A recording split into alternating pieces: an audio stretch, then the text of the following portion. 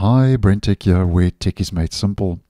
So, Google Chrome version 134 has arrived, which is now our latest release.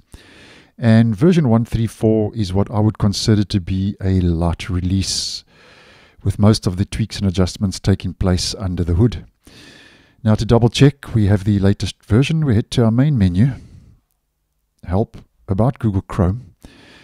And after the update has been applied, version and bold is sitting on 134.0.6998. 0.35 or 36 if you are running Windows or Linux. And if you're running Mac, that point release will either be 44 or 45.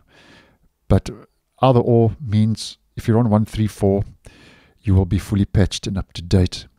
Now, just to focus quickly on the security fixes that have rolled out, and these will also be our weekly security fixes, and there are 14 in total, and that's um, quite on the up compared to previous weeks. And there's only one high severity flaw that's been addressed um, out of the 14, so the rest are just mediums and lows.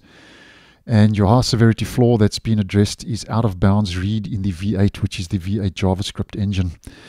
So 14 security fixes rolling out, no critical vulnerabilities and no zero days exploited in the wild, which is um, always good news. Now focusing on what's new and just to mention uh, one or two um, for the purpose of this video, they've improved the protection against unwanted screen recording in the browser. So that's a bit of an under the hood tweak and adjustment. So if you are using streaming apps like um, Meet and Zoom, just to mention two examples, they've improved their protection against unwanted screen recording. And the Chrome platform status also says that they've strengthened security around the browser extensions.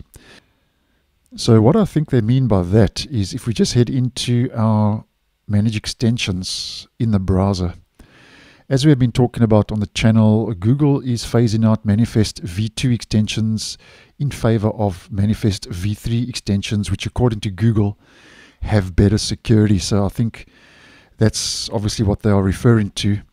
And while we are talking about extensions, I have noticed though that um, there are no prompts, new prompts disabling or informing me that uBlock Origin will soon be unsupported or will be removed.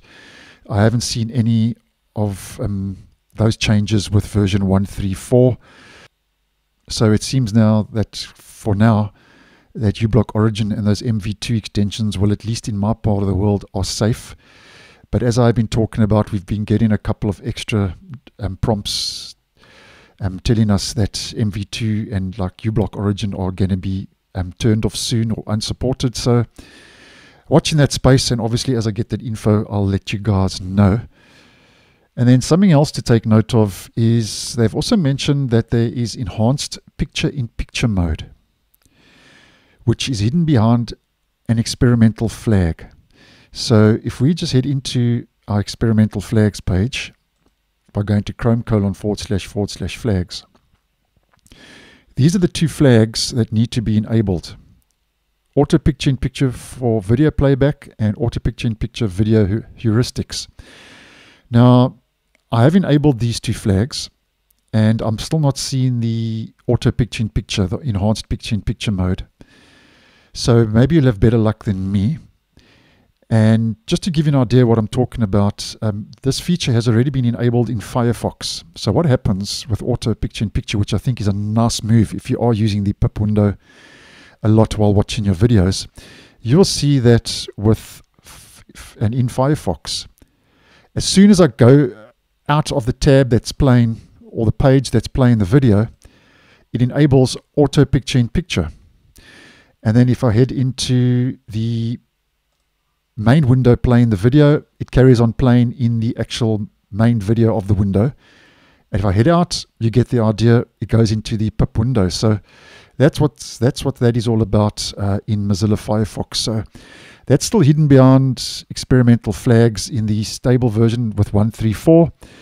But um, nonetheless, um, maybe you'll have better luck than me, and I just wanted to bring that to your attention. And something else just to mention for the purpose of this video, as mentioned, most of the tweaks and adjustments are taking place under the hood. Um, there's actually no front-facing new features that I'm aware of that this update has brought. But if we head back into our settings, they have removed the AI innovations or the experimental AI section from the left-hand navigation for settings. So just to give you an exa um, example of what I'm talking about, if we head over to Canary, which is an early preview version, using a controlled rollout with version 133, Google started adding experimental AI, also known as AI innovations, um, using a controlled rollout, which included the um, history search powered by AI. Now, I have noticed on both my devices with the stable version after updating that this has been removed, as you can see. So it seems that Google cannot make up its mind at this stage what they really want to do with that AI feature in the stable version.